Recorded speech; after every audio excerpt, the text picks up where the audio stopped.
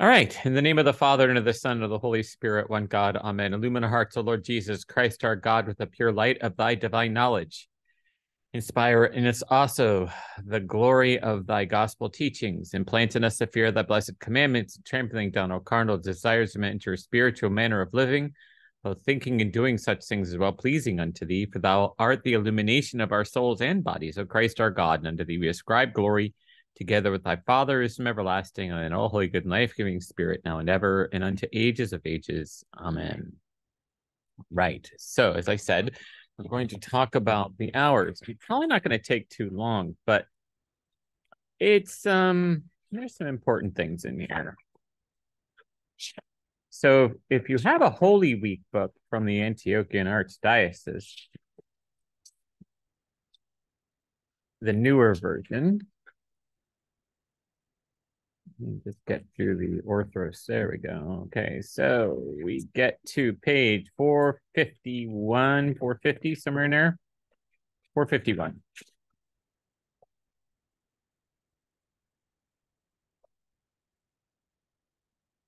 Actually, I could have sent you further along, but so the royal hours are a commemoration of four of them. It's commemoration of important events in the life of Christ. One day, in fact. Now, notice it says here the royal hours of Great and Holy Friday. We know from history that Great and Holy Friday is the day of his crucifixion when he dies. Okay. So these hours have to do with the events that are surrounding his crucifixion and death. Okay. There are three of them. Now, the hours, you know, we have one of the craziest um, hourly schedules you can possibly come up with midnight is the beginning of the day. Why? Because I always figure it gets as dark as it can and then it gets brighter and brighter. I guess that's the only assumption I have. Okay. Mm-hmm. Um, well, that's not how these hours work. Okay. so when you hear the first hour, okay, and then you hear third and you hear sixth and you hear ninth. Okay. Well, ninth is about 3 p.m. Okay. So ninth hour is 3 p.m. Sixth hour is noon. Okay. Third hour is 9 a.m. And first hour is 7. Oh, it's 7. 7 a.m. Yep. Yeah, because it's not zero hour. So you only have two between first hour and third hour. So it's seven o'clock, then nine o'clock is third hour, sixth hour is noon, ninth hour is three eight or three p.m. Okay. Now what does that have to do with sunrise? Mm-hmm. Okay. It's the first hour of sunrise, second hour of sunrise, third hour of sunrise. Okay. Mm-hmm. So it has to do with the rising of the sun. And then to make things even more complicated, in ancient history, in Judaism and in Christianity, the day began with sunset. Okay. That's why in the Catholic Church, you can have Mass for Sunday in the evening of Saturday, because the rule is that the service for Sunday starts at sundown or six o'clock or however oh. they set it. Yeah, that's right. Right, Father. Okay. Now that you're saying it. And for us, it's Vespers. So we do Vespers is the first service of the the church day for us in the Orthodox Church, and that's also Saturday night. For us, it starts at five o'clock. Sometimes sun sets at five o'clock. Sometimes the sun is like five hours away from setting, because you know, middle of summer could be close to 10 o'clock before the sun sets. So, all right. So the hours have to do with certain things that happen during that time period. So I want to skip ahead. So you can see before we go too far, though, um, there are psalms that are read, and these psalms differ for each one of the royal hours. Now, for Great and Holy Friday, when we do the equivalent of the West Good Friday, we have three services that we remember during that day. The first service is, um, oh, well, just so you know, in the Orthodox Church, we've already crucified Jesus by the time we get here. Okay. He was crucified the night before. He was crucified on Thursday night. We have, oh, um, we have a very long procession and reading service that goes on. Um, we read 12 different gospels, right, during that time. And the priest comes out with the cross and brings it out to the center of the church. And then we put the icon of Jesus on the cross. Mm-hmm. Okay. That's Thursday night. So we'll not talk about that too much. But so that brings us into Friday. And Friday, we have the hours, which are basically echoes of what just happened Mhm. the night before. We have Vespers, three o'clock. There, we take the body off the cross and we place him in the tomb. And then we have the Orthros for Holy Saturday, which actually is on Friday night because we're all confused. And at that point, we're all gathered around the tomb and we're singing songs of lament. Okay, it's pretty cool. So, you- so, I don't want to. I mean, pretty cool. I I mean, it's it's like- awesome. In the church honestly. here, Yes. your service on Fridays at three o'clock, or no? Oh, or we have several.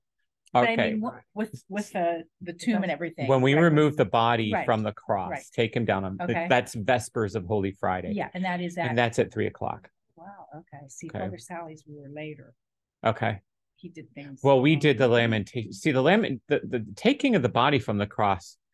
A, a lot of times in other churches have been combined into the service that comes later. That lamentations that's why service. He did that. Okay, so the lamentation service, we have the, the the singing of sorrowful songs at the tomb, but then we also take that and we put it on what we call a bier, right? Okay. which is for us it's a flat surface where the cloth where jesus is uh, the icon of jesus's body is and we take that outside in procession okay Okay.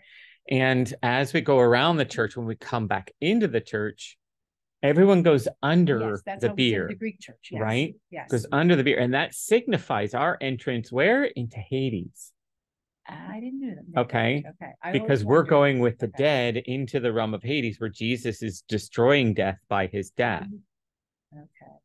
all right okay, Now, see, this is something that's a little bit of a twist from the Roman Catholic. Catholic view, because for mm. for forgive me, but a lot of what happens in Catholicism, and it's good that we're talking about the royal hours today, because that's a lot of what this is all about. The focal point is the crucifixion, big time. Mhm. Okay, he Mhm. dies Mhm. so that we don't have to. He dies so that the judgment against humanity is wiped clean, because through his death, God is no longer angry with us, no longer uh, distant from us, but instead he's our relationship with him is repaired. Okay. Okay. That's not what we say.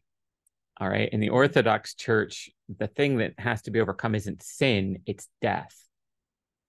And so Jesus has to go to Hades and take all the people that have been collected that died before he died and pull them out of that and take them into heaven. And Wow. that's what he does on Holy Saturday. Can I ask a question? Yes, Why ma'am. Hades? Where's Hades come in? Hades is the realm of the dead. Okay. Okay. And Mhm. that's what existed before Christ died. He has destroyed the power of death through his death. We no longer have to worry about dying. Okay. Yes. What we do now is we repose. Our souls separate from the body, Mhm, Okay. mhm. but that is just a mere, we call it dormition. When we talk about how Mary dies, we Mhm. call it literally her dormition. But I thought she was taken straight to heaven. Body Okay, that's not what we teach. That's what you Oh, teach, but that's yeah. not what we teach. Oh, okay. Okay. Mhm. What we teach is she did indeed die because everyone has to die. Okay. Okay. But after three days, Uh-huh. she was taken bodily, reunited with her soul, and is in heaven in that. But after three days, just like her son. Oh. Okay. mhm, Because one of the apostles, again, according to Orthodox teaching, is Thomas, mhm, right? mhm. And Thomas could not believe that Jesus rose from the dead. So he said, I have to put my fingers in your hands Yes, and my yes, hand in your mhm. side. Well, because of his lack of belief, Okay. when she died, he wasn't invited to be at her deathbed scene. Everyone else was taken by angels to be beside her. He was delayed. In the three days that he was delayed, Uh-huh. see where this is going? Yes. He goes and says, I want to see her. And so they roll a stone away and she's gone. Doubting. She's not there. Yep. Mhm. And so he's given the gift of the resurrection of the mother. Okay. Yes. Because he refused to believe in the resurrection of the son. Oh, okay. So we see her as with Christ in heaven, mhm. okay, interceding on our behalf, pretty consistent with both Uh-huh. traditions.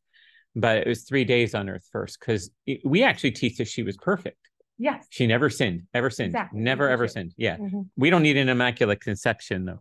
But but we we teach that her own decisions, her own life choices, her own ac- ac- actions, all those things were never sinful. So she was perfect. And so in her death, she remains perfect. There's nothing that she needs to do to be perfect because she already is. That's Still not Jesus. Yeah. But she's perfect. Well, that's why he picked her to be his mother. Yes. Yeah, we would say the same for that. Yep. And we also say that John's pretty close too. Jesus says that he's the greatest man ever to be born of a woman. Um, you know, in several places in the Gospels, he says this, right? So that's why many of our icons you'll see Mary on one of Mhm. Jesus' side and John on the other side of Jesus on a throne. Oh, And we call that a triptych because there are three people in it Jesus in the center, John and his- mom. Yep. Okay. Other questions or anything? And you can ask away. I mean, this this class is really intended to be an instruction. Okay. So it's really not, I mean, I'm using these services as a way to kind of convey Mhm. what's going on, Mhm. but we don't have to follow the services. If we have questions that we want to ask, any of you want to ask, including all y'all at home, um, all you have to do is ask. I'd be happy to answer. So when I was at the Greek church, Yes. naturally, father didn't explain anything. Okay. Well, I mean, Well, you assumed So, you knew, I know, and I did not know why we went under. I didn't have a clue. right? I did not know. and Well, no let's take it- me Seemed to know either. let's take it one step further I or two steps further. Okay, so we go under, and once we've gone under, we are in the realm of the dead, which means the next divine liturgy we have, which is Holy Saturday morning, is in Hades. Okay. So the priest is dressed not in dark anymore, he's dressed in white because the Hades is where the resurrection begins. And we put all sorts of things like flowers and basil and all that mountain well we use um laurel leaves bay leaves um to signify Mhm. Beauty coming to a very ugly place. Not that the church is ugly Mhm. but jesus coming and bringing life and light to this realm of the dead which was saturated with darkness and putridity. Mhm. it smelled. It was horrible. Okay? And they were suffering. They were all tormented. And then jesus comes and breaks free everyone from that torment. Okay? So that service Mhm. on that holy saturday morning so this is before pascha. This is before the greatest service of them all but we're already celebrating the resurrection of jesus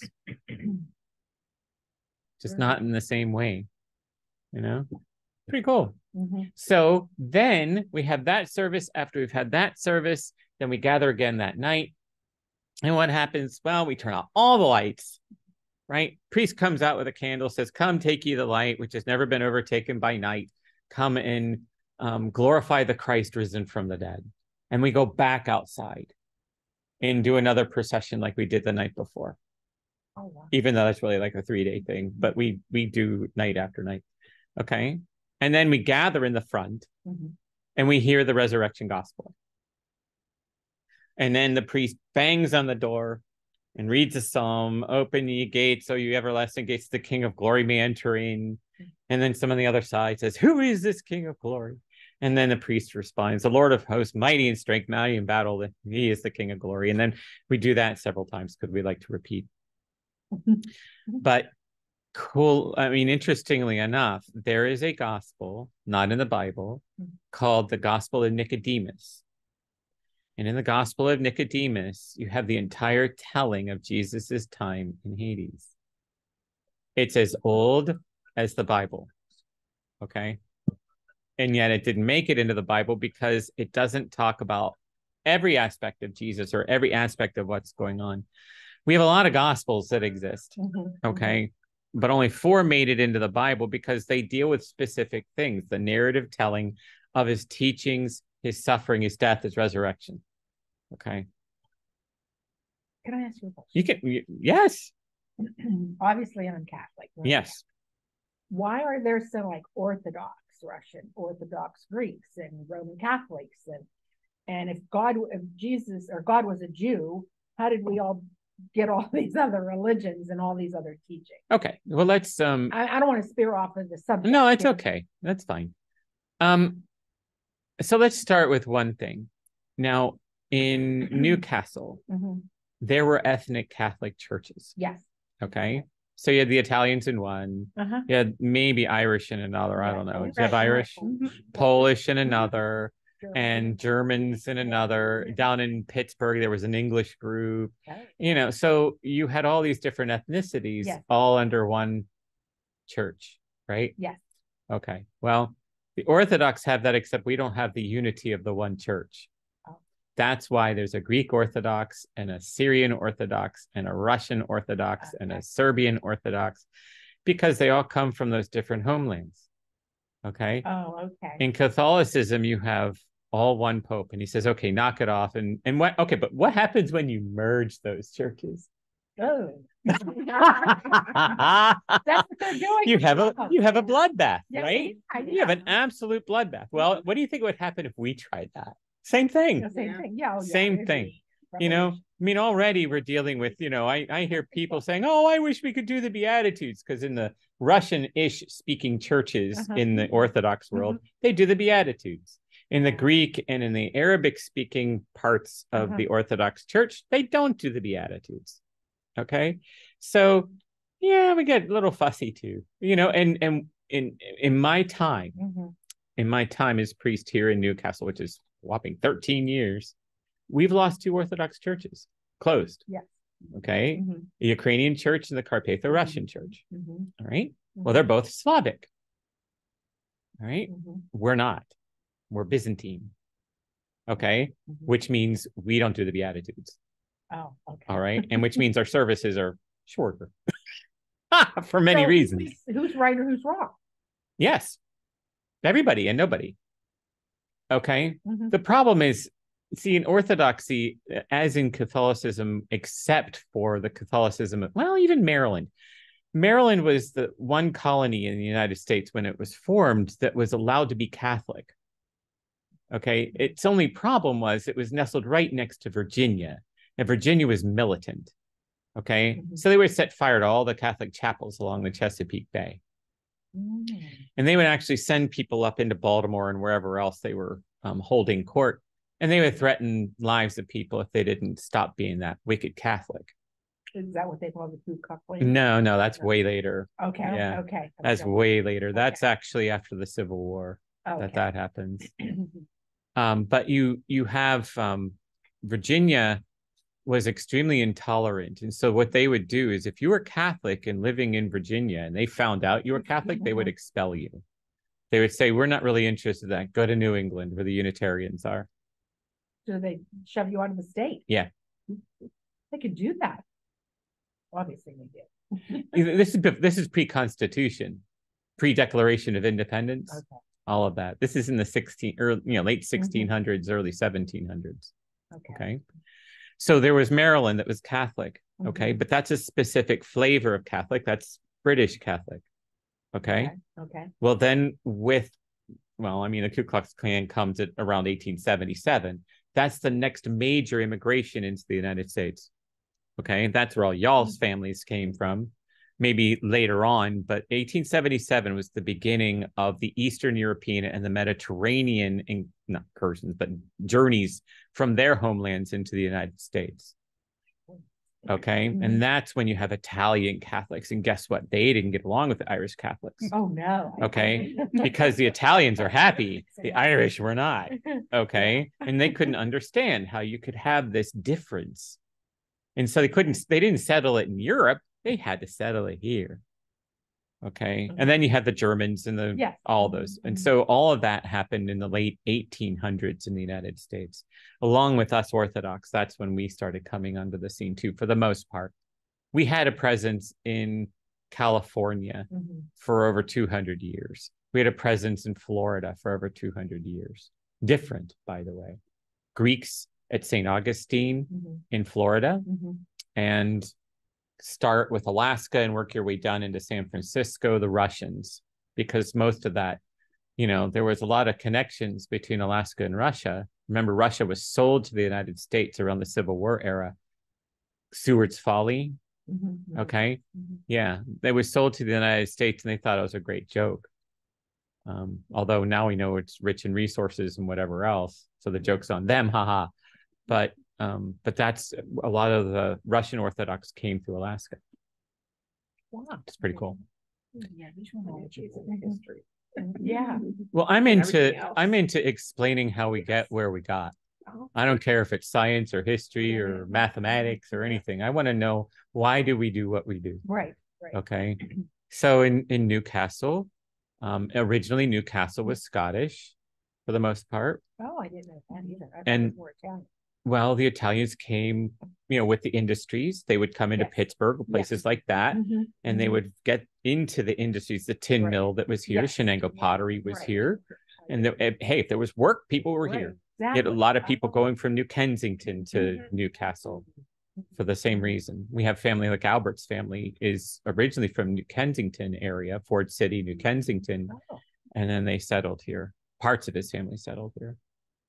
it's more like history. Yeah, he's Well, like I said, I mean, part of this is understanding how you get to where you get. And so, why I was bringing all that history up is Mhm. because, say, you're Italian Mhm. and you've got to go work in the mill, Mhm. they hate you. Oh, yeah. Okay. We couldn't get jobs in They, certain they think you're well, and when you did get them, they were the worst jobs you could Yes, possibly yeah, have. yes, you would couldn't- melt literally Yes. under the heat. Yes. Okay. Mhm. You would have to take salt tablets to keep your, you know, your electrolytes up, yes. or you would Mhm. die Mhm. right there on the spot. And if a ladle happened to explode or pour out or Mhm. break or whatever, you'd be the first one to Exactly. go. Mhm, mhm. Okay. Which is horrible. I thought we got over that. Maybe we did. Um, mm, yes, but no. It's it's it's the same but different. All right. Yeah. So getting back to the story though. Okay. The churches Mhm. provided safe havens Yes. for the people that you know the greeks they needed a place where they could be authentically greek the, the syrians needed a place where they could be authentically syrian the russians you know and both i mean and Mhm. and the, trust me the, the russians are complicated okay because they have the real russians here they would call them hard russians that was the holy trinity church that existed on a cheap hill right? Mhm. until the 80s when it closed they spoke russian or you know old Yes, yeah. slavonic Mhm. all right? Um you have the ukrainians okay? Well tell a russian that someone's ukrainian and get and, and see what they will say to you. Yet is what they'll say. They're us. That's why there's a war okay in Mm-hmm. ukraine right now because the russians want the ukrainians to be russian and the ukrainians want to be european Yeah. Yeah, okay. all right and then you have the carpatho russians Oh, okay the church that closed down on mill Yeah. street Yes. okay mill street and reynolds right well the carpatho russians are neither of those two things they grew up in the carpathian mountains so they sort of border russia they sort of border ukraine Okay. but they're like polish and czech and and all those different things but they still you know i mean russia had all sorts of influence throughout that whole area and i'm not just talking about through communism i mean it existed long before that Wow. okay Mhm. and it's funny um he would kill me if i said it i'm i'm telling a family secret but tom hopko who was one of the greatest leaders of the orthodox church in america okay was carpatho russian he would never say that but he was his wife wasn't but her name was schmemann which means that she had austrian connections can't tell her that either okay so anyway it's a long story to just say look the the idea of the churches is to give a sense of identity. Yeah. Okay, well, those days are over. Okay. And in the Catholic Church, they're over. You know, you can talk about your nice, cute old customs. We can talk about our nice, cute old Right. customs, Mhm. but all they really are is food for us at this point. We don't care about the rest of that stuff that we used to do. Yeah, no, food is the same Yeah. Catholic. All we want is the food. Mhm. So, yes. Now, um, they served they served their important important purpose. Okay. Mhm. And and so that's why the differences exist. That's why it's so profoundly different. Mhm. Mhm. All right. But it's it's like, I mean, think about when you were a child. Mhm. Okay. Um, slightly older than me. So you had traditions in your family. Sunday would probably be some kind of dinner at a grandparent's house or something like that, right? Okay, well, does that happen now? No yeah. It happens with you. Does it happen with anyone? Well, how old are you? I'm not. I'm, no, that's okay. You don't need to tell me.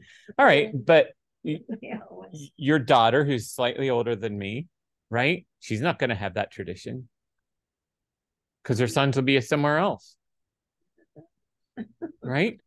Spaghetti. They come every Sunday. I know that. Yeah, well, that's now. It may it it may change. It probably will change. So I mean, that's that's just these traditions go right when the children move out of town. And New Castle is a, a great place to be from. Yes, I know. All right, so here we are. Um, so the traditions differ, and that adds to the complexity of it all. Now we're not even going to talk about why the Orthodox and the Catholic aren't the same. That's a very messy story for another another time. All right. But for now, let's go back and talk about what happens to Jesus on Great and Holy Friday. In the classes that I've been teaching, what I've been trying to convey is that our services point, like half of them point to the groaning of, of creation, begging God to save us. Okay. If you think of it, even now, war is is a fracture of humanity and there is nothing holy about it ever. Okay? There may be just reasons for conducting a war but as soon as you lob something at someone else without knowing their face or knowing why they're there you've you've taken a step beyond where god wants us to be. Okay? Wars are inevitable. I'm not saying that you can't have wars. Okay? But they are um, they they strip away our humanity they replace us you know we become you know dealers of death in a situation like that. Okay now why i'm bringing that up is because the like i said the world groans for a release from all of that and that's what jesus came to do. So in our vesper mm-hmm. service we have the telling of creation told through a psalm. And in that psalm, which is really, really beautiful, it has all the images, you know, how marvelous are thy works, O Lord, in wisdom you made them all. Beautiful, you know? But then you get to what happens after that. The sun goes down, things get dark, it gets, you know, and creation, creation can't fix itself. So we need God to fix us. All right. Um, our Vesper service ends with the hymn of Saint Simeon who holds Jesus in his arms and realizes because he's held the Lord's Christ, he can now pass away. Lord, now let us thou thy servant depart in peace, it says in Luke 2.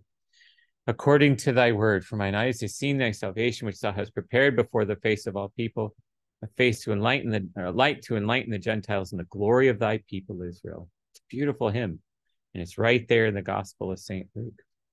Right. So that's the beginning of hope the world's been groaning for this problem to be fixed, and the one who can fix it is here.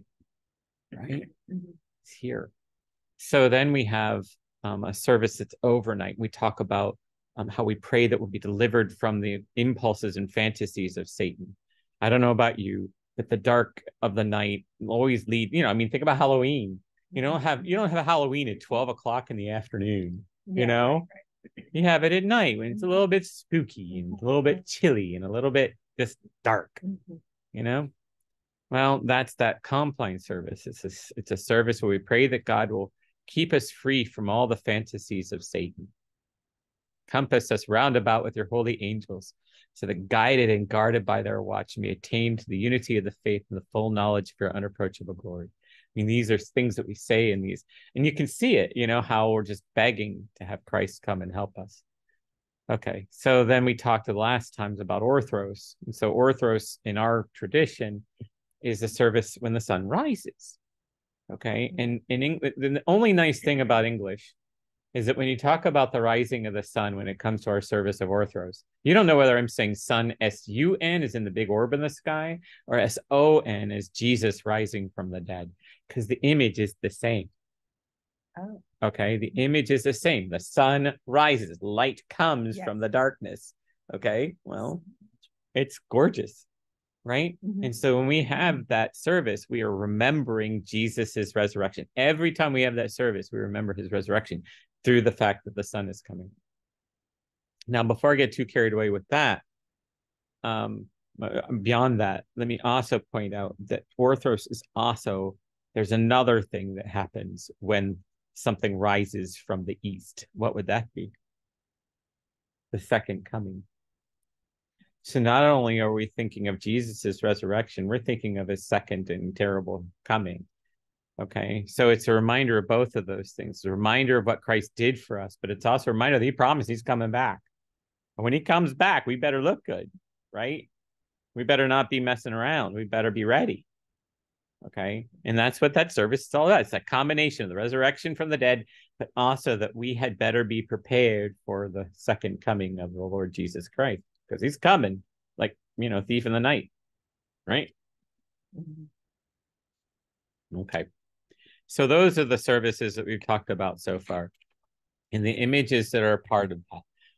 Um, I have not made an, a, a tremendous effort to say that orthodoxy, or what orthodoxy is, because for me, the reason why I'm teaching this class this way and trying to give these concepts this mm-hmm. way is because orthodox literally means how to worship correctly.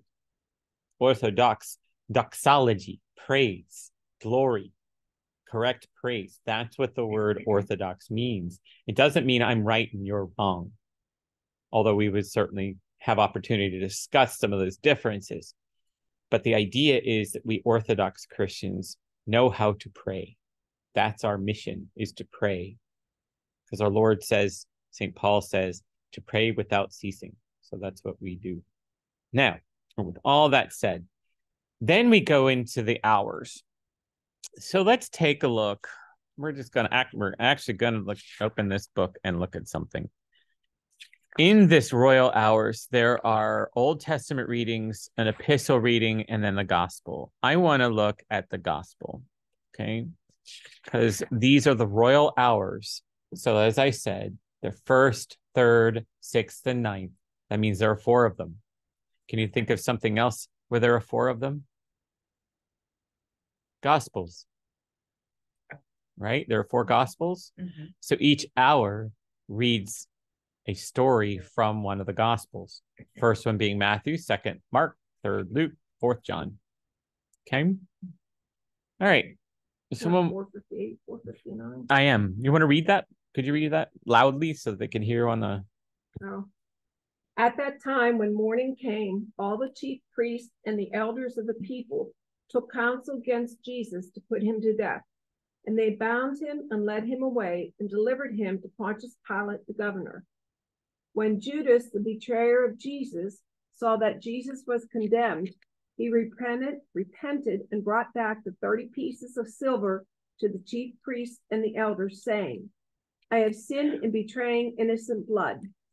They said, What is that to us? See to it yourself. And throwing down the pieces of silver in the temple, he departed, and he went and hanged himself. The chief priests, taking the pieces of silver, said, It is not lawful to put them into the treasury, since they are blood money. So they took counsel and brought with them the potter's field to bury strangers in. Therefore, that field has been called the field of blood to this day. Then was fulfilled what had been spoken by the prophet Jeremiah, saying, And they took the thirty pieces of silver, the price of him who was valued, who was valued by the sons of Israel, and gave them for the potter's field, as the Lord directed me. Now Jesus stood before the governor, and the governor asked him, Are you the king of the Jews? Jesus said, You have said so. But when he was accused by the chief priests and elders, he made no answer. Then Pilate said to him, Do you not hear how many things they testify against you? But he gave them no answer, not even to a single charge, so that the governor wondered greatly. Now at the feast, the governor was accustomed to release for the crowd any one prisoner whom they wanted.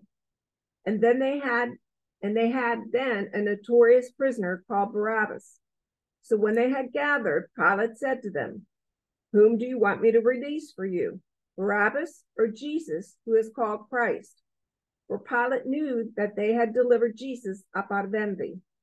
Besides, while he was sitting on the judgment seat, his wife sent word to him Have nothing to do with that righteous man, for I've suffered much over him today in a dream. Now the chief priests and the elders persuaded the people to ask for Barabbas and destroy Jesus. The governor again said to them, Which of the two do you want me to release for you? And they said, Barabbas. Pilate said to them, Then what shall I do with Jesus who is called Christ? They all said, Let him be crucified. And Pilate said, Why, what evil has he done? But they shouted all the more, Let him be crucified.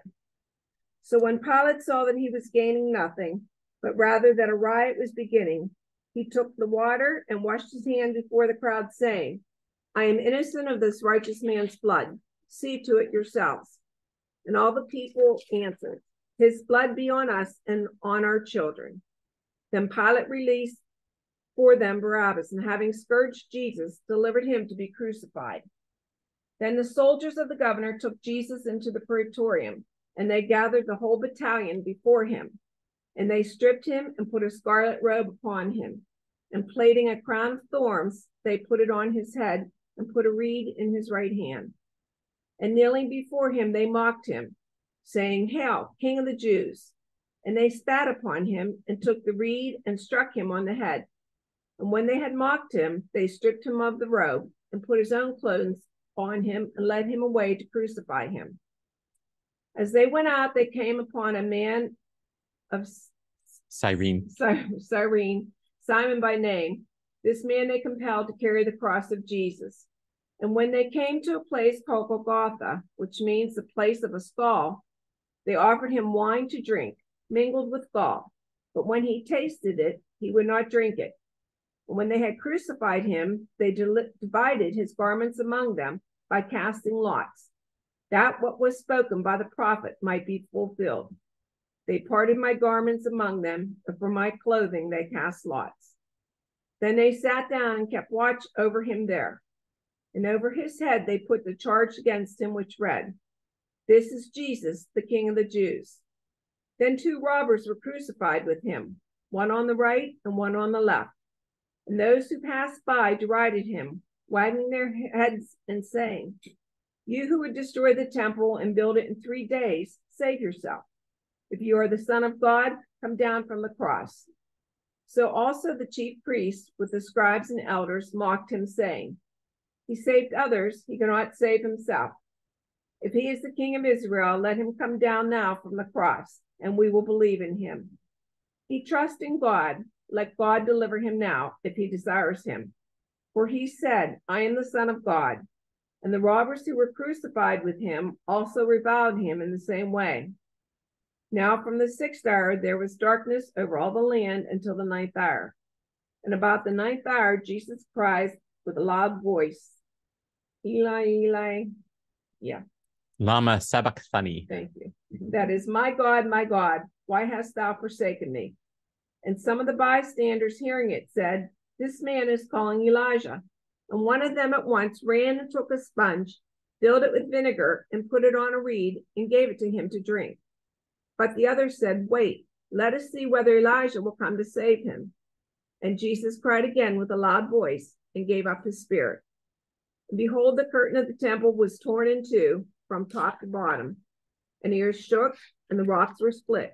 The tombs also were opened, and many bodies of the saints who had fallen asleep were raised. And coming out of the tombs after his resurrection, they went into the holy city and appeared to many. When the centurion and those who were with him, keeping watch over Jesus, saw the earthquake and what took place, they were filled with awe and said, Truly, this was the Son of God. There were also many women there looking on from afar who had followed Jesus from Galilee, ministering to him, among whom were Mary Magdalene and Mary, the mother of James and Joseph, and the mother of the sons of Zebedee. Thank you. Okay. So that's the telling of the Passion Gospel from St. Matthew. Okay. What are we have in there for our purposes? Well, the time that he spent with Pilate and all of that, that was the first hour. Okay. That's about the time when he was mocked and scourged and beaten. So all those sufferings took place at that point. Then the journey from that humiliation to his crucifixion took some time. Okay. Two hours, don't know. Okay. Now, one of the weirder things about this is how the different hours or the different gospel accounts don't really get the times the same. Okay.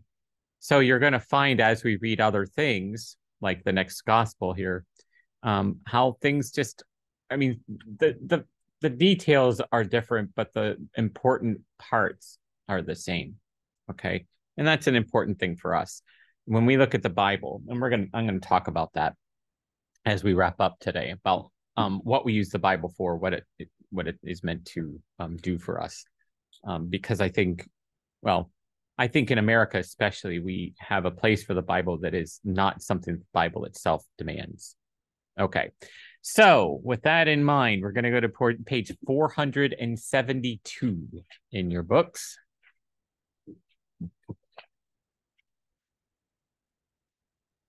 Did they, how did they actually kill him? I mean, what did they do? They crucified him. Yeah, but well, how? Okay. I don't. know. No, you're fine. Um, because I I was going to spend two weeks on this anyway. All right. So, what did they do? Um, first thing they did to him, and they only uh, forget forgive me for how gross this is because it's pretty gross. All right. The first thing they did to him is they scourged him.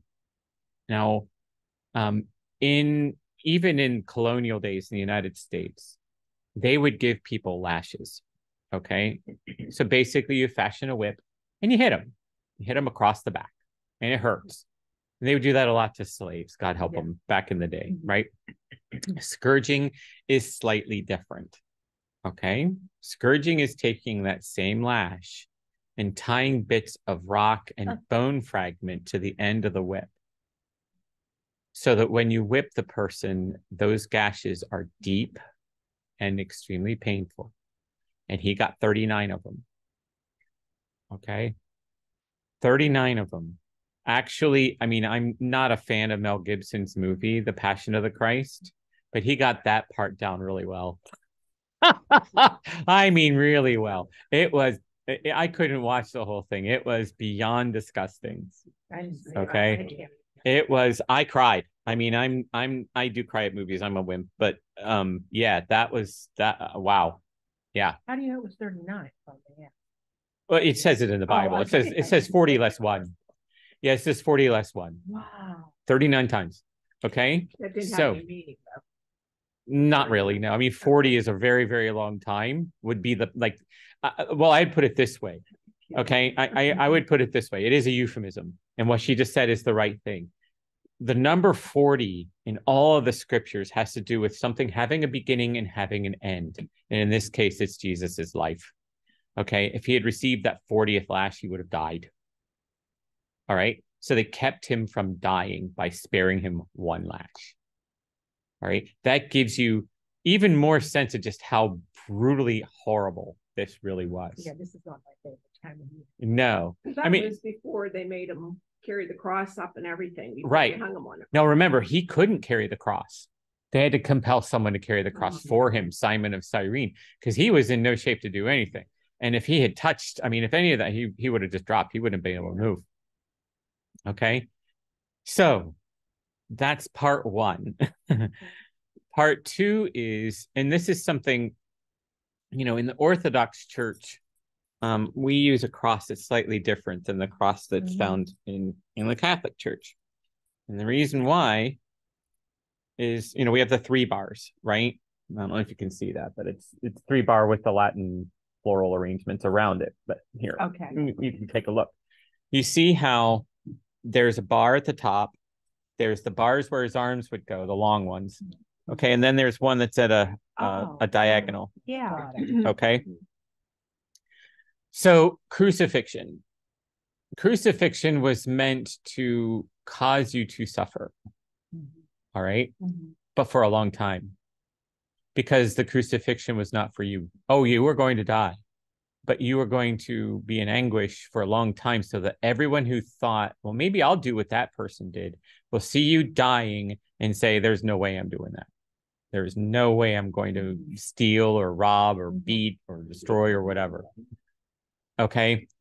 And remember, it was also done at the outside of the city, Mhm. right? So people are coming into the city and watching these people writhe in agony. Okay. Mhm. And they're saying, there's no way I'm doing that. Mhm. Okay. So in Jesus's case, though, he was so far gone that it only took a matter of hours for him to die. Okay. Mhm. All right, let's go a little bit more into crucifixion for a second. The whole purpose of crucifixion ultimately is you die of suffocation. You don't die of the wounds. Oh. Okay. You're pinned to the cross. Mhm. Forgive me to be so blunt. You're Yeah. nailed to the cross, Yeah, right? right. Yeah. But you've got a platform for your feet. That's what the platform at the bottom is Oh. about. And there's There's- Yeah, it's actually a platform. So it's it's not it's not this way, it's this way. Mhm. Okay. So you're standing on a platform with your arms outstretched Mhm. in pain. Okay, with your feet nailed. So your Mhm. feet are nailed to the Yeah, platform, your mhm. hands are out here, and Yeah. whatever else. And they've got a sign above you that reads what your charge is, why you're guilty of being crucified, you know, why you are worth being crucified. So if you remember in the Gospel of St. John, they say, well, it's almost the Sabbath and it's a holy day. So we want you to break their legs so that um, we can take them down. Okay, well, when you're standing like this, you're not going to die for a while. You break your legs, you have nothing to support your weight anymore. So as you drop, Oh, yeah. as you drop, it compresses your lungs, and eventually you can't breathe anymore and you die. Yeah. Okay. Mhm. Um, and so then they say, you know, they come to Jesus and he's already gone, and they marvel he's already gone. And one of his soldiers pierced his side with a spear, and immediately there pour forth blood and water. He who has seen his word witnesses, witnesses drew. Okay. The blood and water is the image of the wine Mhm. that becomes his blood Mhm. in um in the Eucharist. So we have that Eucharistic moment where he pours out his life for us. Right. Mm-hmm. Okay. Yeah. So that's that's probably all we need to talk about with respect to crucifixion, but you get the point. Mm-hmm. You know, Yeah. it's meant it's meant to cause agony. Now, think of this.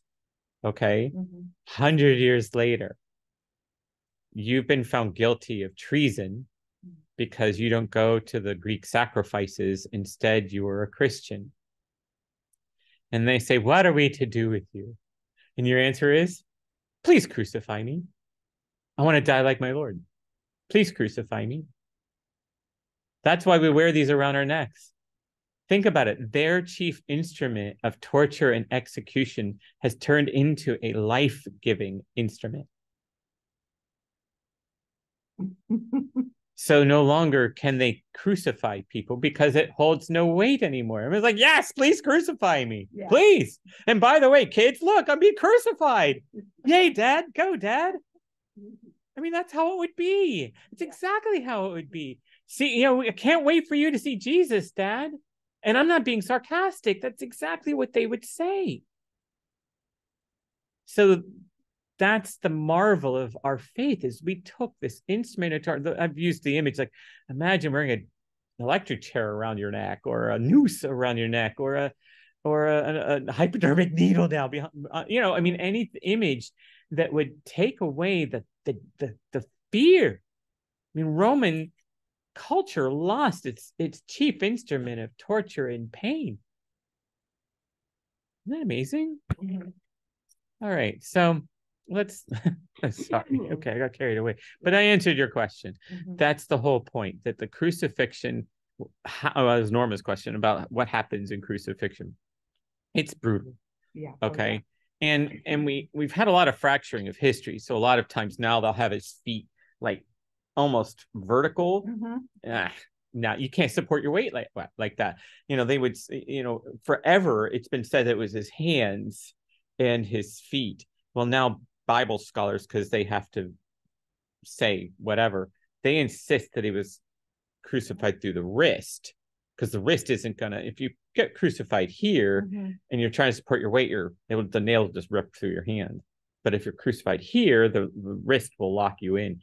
Well they're still wrong okay? Because Mhm. that's not the point. You're not supposed to die quick. You're supposed to die Exactly. yeah after a long period of time. All right you know who got that really well i hated the show but um the thrones what was that Game of Thrones. They nailed, excuse me, not nailed. They did crucifixion pretty much like how it was done. I, I mean, that was most nasty show ever. I, I, I mean, I only see it through YouTube, and even YouTube is gratuitous in its violence. So, all right, so let's look at Mark. All right, so Mark is on page 472, and let's read this one together. Well, um, anyone else want to read? No, I think Deb does a good job. Go ahead. Deb. Yeah, I think so. You got She's a that. teacher. She's got that teacher's voice. Yeah. Yeah. She does. Agree. Yes, please. At that time, the soldiers led Jesus away inside the palace, that is, the praetorium, and they called together the whole battalion. And they clothed him in a purple cloak, and plaiting a crown of thorns, they put it on him. And they began to salute him, Hail, King of the Jews! And they struck his head with a reed and spat upon him, and they knelt down in homage to, to him. And when they had mocked him, they stripped him of the purple cloak and put his own clothes on him. Okay, let's let's stop there for a second. I again, I know this is I'm getting gratuitous here. But I want us to understand what we're doing to our God here. Yeah. Okay? I mean, let's be real clear. All right? They are humiliating him and they put that crown of thorns on him. And then they hit him with what? What did they hit him with? A reed. Okay? You hit somebody with a hard Yeah. thing. Okay? And it's going to hurt and probably knock them out. A reed is soft. All right. So what it will do is it will spread the blow from one side of the crown of thorns to the other. Okay, the whole thing. Oh. All right. So what it's doing is driving the crown of thorns into his head. All right. Don't you think he died way before he got on the cross? Well, yes, I I I think it was an easy matter for him to die because of everything that was done to him. Oh, yeah. like- Very clearly. Yeah. And again, I think Mel Gibson did an excellent job of that. Um, I think he got carried away with other things like the crows eating stuff and whatever. All right, but um that I I just want us to understand, you know, the, the problem I have with us just reading it is that we read it to the point where we forget what it means. And I want us to really remember what it means. Okay? I want us to be mindful of just exactly and what does he do in all of this? How does he choose to respond? This is God. If this was you, all right, and you had, you were divine, Mhm. but didn't have his mercy, you would like had a human nature, how would you respond to this? You would send those Romans into the abyss. You would Yeah, make them right. catch fire. Mhm. You would make them turn into horrible creatures. You would Mhm. wish ill on them like Mhm. no one has ever done. And what does he do? He takes it. Yeah. Mhm. He takes it. As they're nailing him to the cross, he says, Forgive them, for they know not what they do. But he takes it. Instead of just saying, Okay, you guys are so bad, so horrible, I'm done with you, Mhm. we're starting over. No, no. He's letting us do to him what we do. Is that because of free will? Yes. It's not just because of free will, it's because he loves us so much. He wants us to choose him. He wants us to realize that we are better off with him than ever without him. Oh, yeah. Okay. Mhm. And so everything that he goes through here is so that we have the potential to be with him forever. And how does he put up with all this that's going on? But he does Yeah. So because his mercy is way beyond our capacity to understand. And his kindness is way beyond our capacity. And oh, by the way, his justice is way beyond our capacity to understand. We only have what we have, and those all of those have limits. Mhm. You have limits to how much abuse you'll Yeah, take from right, somebody. Yeah. mhm. Look at what he did. So in other words, should we take more? abuse? No, no, but we should love God with Okay. everything that we've got because he's our own. Because we know if we leave ourselves to the same people that he was left to, we wouldn't fare as well, would we? No. No, but he did. So he teaches, he shows us the way of taking whatever it is that the world throws at us oh. and just To go back to him. say forgiveness, forgive, yeah, forgive them. Boy, that's tough. Yeah. Right. But I just want us to understand this is our God, not just as he's a nice guy, Jesus, who is, you know, a carpenter's son from Nazareth. This is the second person of the Holy Trinity, willing to let his creation, the very crowning achievement of his creation, do this to him. Wow. Crazy, huh? Yeah, really crazy. From us, it is, but Mhm. okay. So let's go on and read, and then we'll be done for the day. And day. they compelled a passerby, Simon of Cyrene, who was coming in from the country, the father of Alexander and Rufus, to carry the cross of Jesus. And they brought Jesus to the place called Golgotha, which means a place of a skull. And they offered him wine mingled mingled with myrrh, but he did not take it. And they crucified him and divided his garments among them, casting lots for them to decide what each should take. And it was the third hour when they crucified him. And the Okay. inscription, Just stop right there, just one second. Yep. The third hour that they crucified him. All right. This is, I think, the only gospel that says that. But that's why we have it at the third hour. Mhm. Okay. Why we have the hours, third hour. So that's when we remember when he was crucified. Okay, go on, please. and the inscription of the charge against him read, the King of the Jews. And with him they crucified two robbers, one on his right and one on his left. And the scripture was fulfilled, which says, He was reckoned with the transgressors. And those who passed by derided him, wagging their heads and saying, Aha, you who to destroy the temple and build it in three days, save yourself and come down from the cross. So also the chief priests mocked him to one another with the scribes, saying, He saved others, he cannot save himself. Let the Christ, the King of Israel, come down now from the cross, that we may see and believe. Those who were crucified with him also reviled him. And when the sixth hour had come, there was darkness over the whole land until the ninth hour. And at the ninth hour, Jesus cried aloud with lo- cried with a loud voice. That Lama Lama Eli Eli Lama Sabachthani. Which means, My God, my God, why hast thou forsaken me? And some of the bystanders hearing it said, Behold, he is calling Elijah. And one ran and filling a sponge full of vinegar, put it on a reed and gave it to him to drink, saying, Wait, let us see whether Elijah will come to take him down.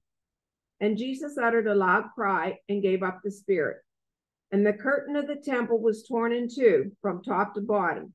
And when the centurion who stood facing him saw that he thus cried out and gave up the spirit, he said, Truly, this man was the Son of God.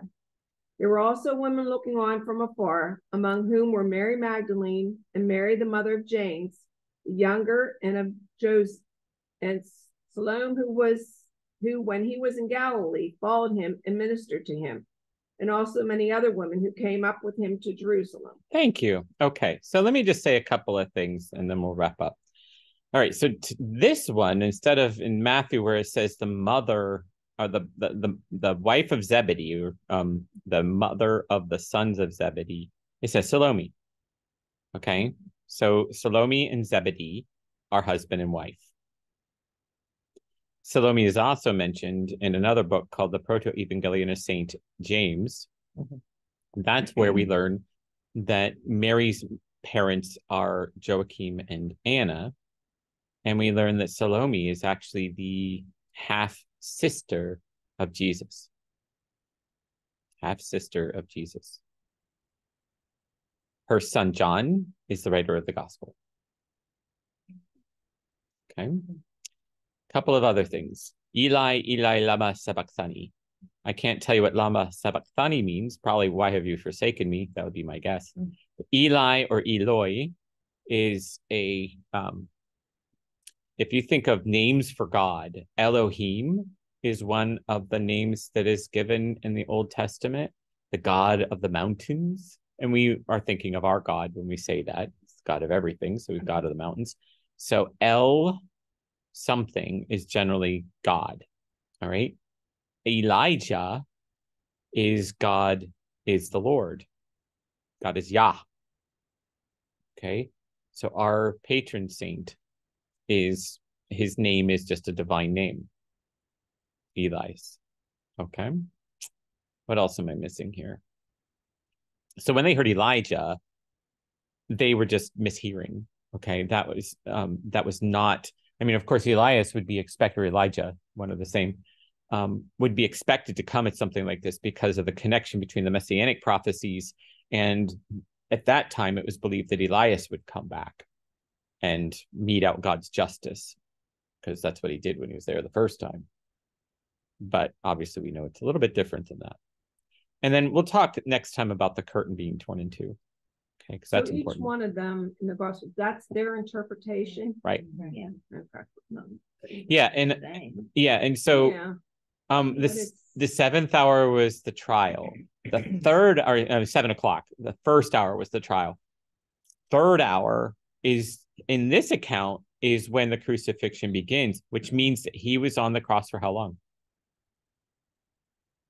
Three hours. Six hours, Oh. according to the Gospel of Saint Mark. Six hours. Okay, so it's still a long time. Yeah, but you could last for days the way they had it. You could last for days with him the way he was nailed to the cross. Yes. Again, that's the point. I mean, you you want them Yeah, to you suffer want to him be. to suffer. They're going to die of exposure. Yep. But they didn't So- break his legs. They did in the Gospel of John. When did they? Oh no no no no no no! They didn't. I'm sorry. You're right. You're right. That is the various point. Not a not a bone upon him was broken. That's the whole point. It's the fulfillment of the scripture. Yes, not a bone was broken, but he was stabbed. Right. Yeah. Sorry. Yes, you're right. So when he was stabbed, Got carried away. Any bones broke? Nope. No, no. No, right here. Yeah. Yeah, Cushy. Right there. I'm glad you're cushy there.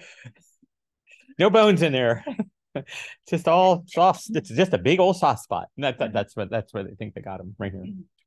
So Oh, wow. There's a lot of theories out there as to how he died and yeah, I I there are theories as to how he died, but I think honestly, I think just given the level of torment Oh, and yeah. torture that he oh, was given, goodness. it's kind of a no brainer. Mm-hmm. So Um, when they say six hours that he was on the cross. yes. Why do they say that then if they feel he died before that? Oh no, they do feel that he died in six hours. Yeah. Oh, Yeah, I do. I, but they could. But what I'm saying is, they could have died. I mean, because earlier. of the way the crucifixion was Crucifixion done, Yes. it could have taken a much longer time days days because you're standing you're going to die of thirst or exposure The way they Yeah. killed he could die. yeah remember actually they ran and gave him wine mingled with gall Yeah. right so they want that i mean that's that's giving them you know you, you die of thirst after what a day it's not long if you don't have liquid you Mhm. die immediately Yes, yes. yeah more or less if you don't have food but you Mhm. have liquid Mhm. you can live longer Longer, Yes, yes, yes. Okay. You can. Yeah. So um, I think it really has to do with how you understand the construction of the Mhm. cross. That's that solves all the problems right there. Yeah. Okay. And I mean, I don't really, you know, again, for me, it's a theocentric point. Mhm, The Mhm. point is that he went through all this agony mhm. willingly, Yes. okay, without condemning us to a rotten, horrible death. And if that's the case, think about the hope that we have Mhm. in the fact that our Lord is willing to endure all of that for Mhm, us. What is you, you know, I mean, us sinners, there's hope for us yet. Okay. And that's just how much he loves us and how much we should love him. So, so through all the torture in the world Yeah. that they are suffering, Right. we are to see this but go to him. We are to understand that in him, they have, first of all, someone with whom they can identify. Okay. Mhm. That their suffering and his are on the same, I mean, not the same level. Of Right, course, we're right, talking right, divinity here, Yeah. mhm. but he understands our anguish, our agony, our suffering. And if he doesn't, his mother does, Oh, God, yes. Oh. right? Yes, So between the two of them, Mhm. we have in, I mean all of that enmity that existed before Jesus came, Mhm. all that separation and mystery and anger and wrath, Mhm. all that's gone. It's gone because we have a God who's willing to go through all those lengths to save us. But That's hard to understand, I think, sometimes. Um, I think it's harder to accept. That Than to that's a better word. understand. Yes. I think it's Mhm. actually easy to understand. Okay. But harder to. But accept. harder to accept. Mhm. And especially if you come into it thinking, well, I'm a, you know, I'm a corroded, horrible sinner, you know, Mhm. totally corrupted, and Mhm. there's nothing, there's no good bone in my body and all that kind of stuff. This is, you know, I realize I'm a little hard on um, other faiths, but I really think that we need to, in the Orthodox world, emphasize the fact that we believe that people are born good, not bad. Okay. We aren't born into sin. We're born into death. That's the thing. Born If into death. born With original sin, do you believe in that? We do not. Oh, okay. Okay. did. Yeah. And in fact, um, if are you are you thinking of coming back next week? I, I don't really, to be honest with you. It's a lot, I know. Yeah, I mean, I love it. I It's a lot. I find it very interesting. I was raised with the catechism Uh-huh. for the Bible. Sure. I know nothing about the Bible. Uh-huh. at my age. I'm not That's happy to okay. say that. That's okay. Um, but I don't know, there's something about this religion there. very interesting. Sometimes as a Catholic, I think they have a tendency to make you feel guilty. Well, Yes, they do. Yes, they do. And the only way that you'd feel guilty in our little thing is if you feel guilty because God did all of this for you and you don't care. That's how you'll feel guilty. We'll see, I was believed. I didn't believe. I wasn't raised to believe. Night, that. Norma. Good night, Norma. Good night, Norma. All right, so let me um I mean, because there's there's a, a key reason why Catholics believe one way and Orthodox believe another. Okay, and Mhm. it has to do with how we interpret Adam and Eve. What did they introduce into the world? Was it death or was it sin? We say sin. Right, but it was death. Sin is a Latin mistranslation of the Greek text. God bless you, Debbie. Good night, Good night, Debbie. Oh, okay. Okay. Okay. Wow. Okay, it's a mistranslation, and they know it. Yeah, even Augustine. I mean, as far back as Augustine, he So you mean the mistranslated priests it. today, they know. Well, I don't know if they know it because they've been learning Latin all their lives, not Greek. Oh, oh. Good night, Norma. Good night. Yeah, they the the passage is from Romans five twelve, and therefore, since s- through Adam and Eve sin entered into the Mhm. world, Mhm. okay, then on account of sin do we die, or then on account of death do we sin? That's the question. The way the second half of Romans five twelve is interpreted. Mhm. And for the Orthodox world, from the beginning, Uh-huh. we have said that because death came into the world through Adam and Eve, Mhm. right? Because it's think about it this way. As soon as they eat the apple, they become aware that they're naked. Mhm. And then God tells them all the bad things that are going to happen to them. Mhm. So the result of their eating the apple Mhm. brings about death and corruption, Mhm. not more sin, See, we don't talk about death. We talk about the sin. right? Then you are gonna die. Right. To. But you believe that you're going that you deserve to die if you Mhm. don't do something about the sin. So it's just So we in take reverse. it away at baptism. It's in reverse. Right. You take away the yeah. Yeah. Mhm. Okay. Well, for us, baptism isn't that. Baptism is a second life. Okay. The first life is physical, the second is spiritual. So when do you get baptized in the Greek? Immediately, Yeah, so do we. as 40 days. Catholic. 40 days. And then there's a question about, well, you should be baptized when you're older because Right. you understand. Yeah. Who cares if you understand or not? Do you understand your faith? No. Do I? no. No. Okay. So, mm. yeah, I'm not sure that really helps. Yeah.